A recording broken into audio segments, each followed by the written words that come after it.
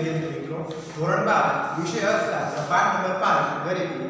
ગરીબીના કારણોની અંદર, ગયા અંદર આપણે આર્થિક કારણો સમજ્યા આ વિડીયોની અંદર ગરીબીના કારણોમાં ચોથો જે કારણ છે, સામાજિક કારણો અને પાંચમું કારણ અન્ય કારણો છે, એને આપણે વિગતે સમજીશું. તો વિદ્યાર્થી મિત્રો, તમે તમારા ચોપડીના પેજ નંબર 58 ઉપર ખાસ ધ્યાન આપો કારણો એમાં પહેલો મુદ્દો છે શિક્ષણનું નીચું સ્તર ભારતમાં ગરીબી માટે મહત્વનું કારણ શિક્ષણ, તાલીમ, કૌશલ્યની ઉણપ એટલે કે ખામી છે? ઉણપ એટલે ખામી છે શિક્ષણના નીચા સ્તરને કારણે ખાસ કરીને ગ્રામીણ ક્ષેત્રની અંદર કૃષિ ક્ષેત્ર એટલે કે ખેતી ક્ષેત્રે નવી ટેકનોલોજી, નવી ખેત પદ્ધતિઓ, સંશોધનો, ખેત ઉત્પાદનના વેચાણ માટે બજારોનો લાભ પ્રાપ્ત થતા નથી જો વ્યક્તિ પાસે એજ્યુકેશન ન હોય, શિક્ષણ ન હોય, એ વસ્તુની સરખી તાલીમ ન હોય તો ગામડાની અંદર આ ખેતી ક્ષેત્રે નવી ટેકનોલોજી આવતી હોય, નવા ખેત પદ્ધતિઓ આવતી હોય, સંશોધનો થતા હોય, ખેત ઉત્પાદનના વેચાણ માટે નવા બજારનો લાભ છે, આ બધી વસ્તુનો છે લાભ એને પ્રાપ્ત થતો નથી. કારણ કે એની પાસે ન તો પૂરતું શિક્ષણ હોય છે ન તો એ વસ્તુની પૂરતી તાલીમ હોય છે. આના પરિણામે ખેતી ક્ષેત્રે એક તરફ હેક્ટર દીઠ ઉત્પાદકતા ઓછી રહે છે. જમીનનો માપ છે હેક્ટર દીઠ એ શું થાય તો કે ઉત્પાદકતા ઓછી છે એટલે ઉપજ આપણને એમાંથી ઉત્પાદન ઓછું મળે, ઓકે? તો બીજી તરફ શ્રમિક દીઠ ઉત્પાદકતા પણ નીચે છે. શ્રમિક દીઠ પર શું છે તો કે ઉત્પાદકતા નીચે છે કે એટલે આવક ઓછી રહે જે ખેડૂતોની નીચી આવકોમાં પરિણમે છે. અને એની સાથે શું થાય, ઉત્પાદન ઓછું થાય, તો આવક પણ ઓછી થાય કે આ ઉપરાંત શિક્ષણના નીચા સ્તરને કારણે ગામડાઓમાં વૈકલ્પિક રોજગારીની તકો પણ ઓછી મળે છે. હવે આ ઉપરાંત શિક્ષણનું સ્તર નીચું હોય તો ગામડાની અંદર બીજી રોજગારીના કોઈ સ્કોપ એટલે કે ઓપ્શન કે વિકલ્પની પાસે હોતા નથી. વેતન દરો શું થાય તો કે આની હિસાબે નીચા હોય છે. પગાર જે વેતન છે એ ઓછું છે કે અને પગાર વેતન ઓછું હોય તો જે ઓછી પોતાની જે મિનિમમ જરૂરિયાત સંતોષવી હોય લઘુત્તમ જરૂરિયાત સંતોષવી હોય, એ પણ એ માંડ માંડ સંતોષી શકતા હોય ન સંતોષી શકતા હોય. તો આની હિસાબે કેવું સર્જન થાય તો કે ગરીબીનું સર્જન થાય છે. બીજો મુદ્દો છે લૈંગિક અસમાનતા, કે ભારતમાં સ્ત્રી પુરુષ અસમાનતા એટલે કે લૈંગિક અસમાનતા શરૂઆતથી અસ્તિત્વમાં છે. સમાજમાં સ્ત્રીઓના સ્વાસ્થ્ય પ્રત્યે પણ હજુ ઓછું ધ્યાન આપવામાં આવે છે. પરિણામે સ્ત્રીઓમાં કુપોષણ, ઓછું વજન નબળાઈનું પ્રમાણ વધારે છે. કારણ કે પુરુષ કરતાં સ્ત્રીઓમાં છે એ આ બધી વસ્તુ એટલે કે સ્વાસ્થ્યની ઓછું ધ્યાન આપવામાં આવે છે, એને હિસાબે સ્ત્રીઓ છે, કુપોષણ છે, ઓછું વજન અને નબળાઈનો ભોગ બને છે કે જેના પરિણામે એને પ્રસૂતિ સમયે માતા મૃત્યુદર પણ ઊંચો રહે છે. પ્રસૂતિ સમય એટલે કે જ્યારે માતા છે એ બાળકને જન્મ આપવાનો જે સમય હોય છે, એ સમયે માતા મૃત્યુદર વધારે હોય છે. માતા નબળાઈના હિસાબે, કુપોષણના હિસાબે વધારે મૃત્યુ પામે છે કે તેમજ નવા જન્મ લેતા બાળકોના સ્વાસ્થ્યમાં પણ ઘટાડો કરે છે. માતા કુપોષણ હોય, માતામાં નબળાઈ હોય, તો બાળક પણ શું થયો? કે જે નવું બાળક જન્મ લે છે, એના સ્વાસ્થ્યમાં પણ ઘટાડો જોવા મળે છે કે કામની વહેંચણી બાબતે પણ સ્ત્રીઓ વધુ કામ કરે. તેવી માન્યતાને કારણે સ્ત્રીઓમાં શિક્ષણનું સ્તર નીચું છે. કામની વહેંચણી બાબતે પણ એવું જોવા મળે છે કે સ્ત્રીઓ ઘરનું કામ કરે, બહાર ન નીકળે. એવી માન્યતાને કારણે સ્ત્રીઓમાં શિક્ષણ છે એટલું પ્રોપર મળી શકતું નથી તેમજ તેઓને આર્થિક ક્ષેત્રે કામકાજની તકો પણ ઓછી ઉપલબ્ધ થાય છે કે આ ઉપરાંત કામકાજના સ્થળે પુરુષ કરતાં સ્ત્રીઓના વેતન દરો સામાન્ય રીતે ઓછા જોવા મળે છે. કારણ કે જ્યાં કામ કરતી હોય સ્ત્રીઓ કદાચ માની કે સ્ત્રીઓ કામ કરે છે સ્ત્રીઓ કામ કરે છે અહીંયા વેતન દરમાં પણ પુરુષ કરતાં સ્ત્રીઓને ઓછો પગાર મળે છે. અર્થતંત્રની કુલ જનસંખ્યામાં સ્ત્રીનું પ્રમાણ લગભગ અડધાથી પણ ઓછું છે. જેમાં સ્વાસ્થ્યની નીચું પ્રમાણ, આર્થિક ક્ષેત્રે કામકાજની ઓછી તકોને કારણે કુટુંબની આવકો પણ નીચી રહે છે. અને હજી એમ કહે છે કે જનસંખ્યાની અંદર હજી પણ સ્ત્રીનું પ્રમાણ લગભગ અડધાથી ઓછું છે. એનું કારણ એના પર ના સ્વાસ્થ્ય ઉપર, સ્ત્રીઓ પર પૂરતું ધ્યાન આપવામાં આવતું નથી.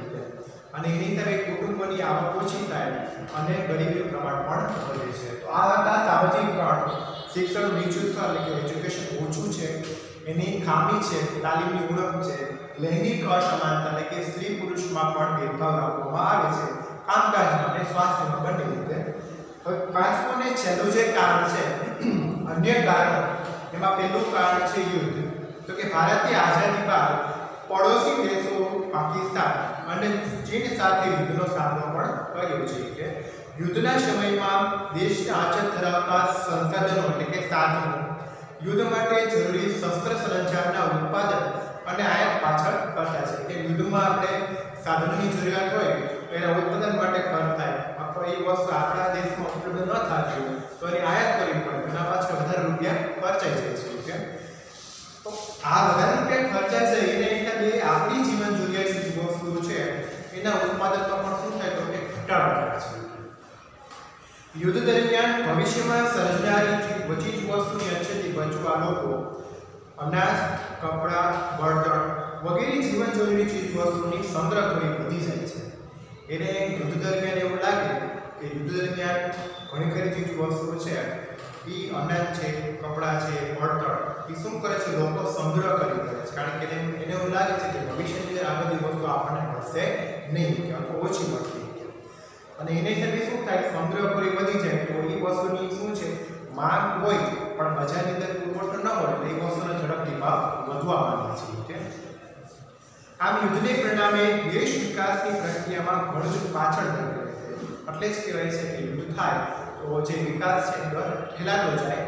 એમ ભારત અથવા કોઈ પણ દેશ છે, એમાં યુદ્ધ થાય તો વિકાસ દર ઠેલાતો જાય, પાછળ જતો જાય, એવું કહેવાય છે. વારંવાર યુદ્ધનો સામનો કરવાને કારણે ભારતમાં વિકાસ શક્તિ ખર્ચમાં પણ કાપ મુકાયો છે.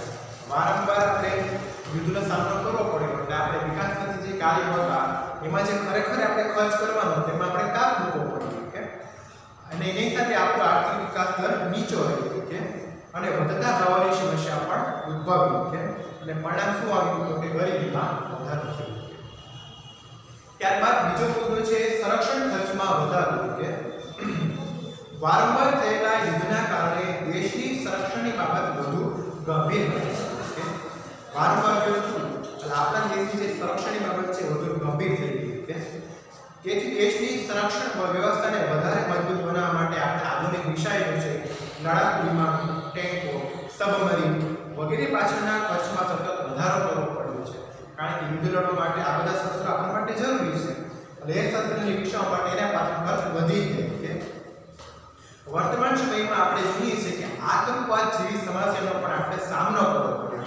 અને એના માટે પણ આપણે સંરક્ષણ પાછળ કે જે યુદ્ધની અંદર જે વપરાતા સાધનો છે, એની પાછળ ખાસ પાછળ આપણે ખર્ચ કરવો પડ્યો અને એનો ખર્ચ પણ વધુ છે સંરક્ષણ પાછળ થતો આ પ્રકારનો ખર્ચ બિન વિકાસલક્ષી ખર્ચ. છે સંરક્ષણ પાછળ ખર્ચ થાય તો આ પ્રકારનો ખર્ચ શું બની જશે તો કે બિન વિકાસલક્ષી ખર્ચ બની જશે.